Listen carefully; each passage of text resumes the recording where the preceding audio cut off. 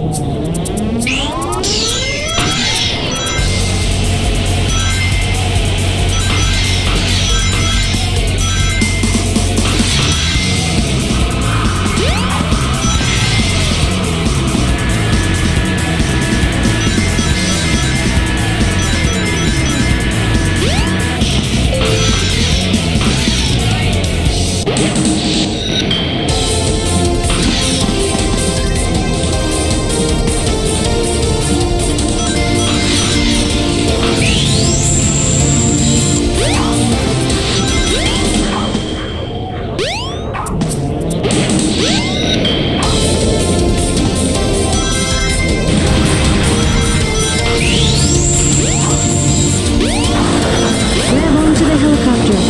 You should be able to go on further. Beware the propellers are dangerous. Be careful.